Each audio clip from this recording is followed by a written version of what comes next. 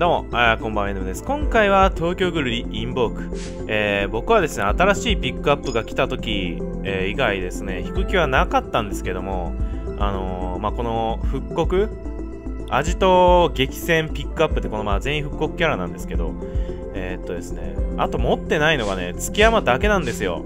なんで、とりあえずちょっと月山欲しいなと思って。いや、月山実際強いじゃないですか。スキルかっこいいしね。えー、とりあえず持っときたいなと思って、あバースデーカードで交換したらよかったなと思いつつ、ん？バースデーカード違う、ガシャポイントか。あガシャポイントで交換すればよかったなと思いつつ、えー、今回は月山を置いていきたいと思います。本当に後悔してる。はい、ということで、えー、連続ガシャ10連がですね、40個で引けるので、えー、引いていきましょう。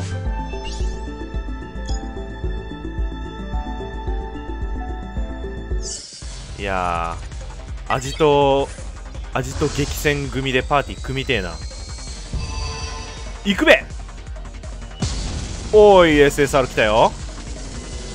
4枚ぐらい入ってくれてでもいいんですよ。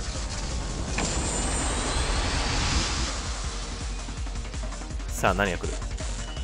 はいうわ3枚入ってんだけど。えマジ？これ来るでしょ。来るでしょこれさすがに。よしよしよしよしよしよしよしマジかよ。紙引きかお前これ。まだあと2枚あるからな。しかも2枚ともグールじゃね？あなるほどね。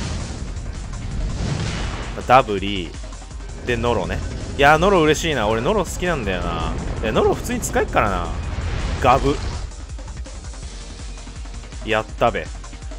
えー、しかもこれあれかな？アジト激戦ピックアップのキャラしか出てないがあラインナップ見てなかったな。他の SSR キャラも出るんじゃないかなまあでも数いるしなこいつら。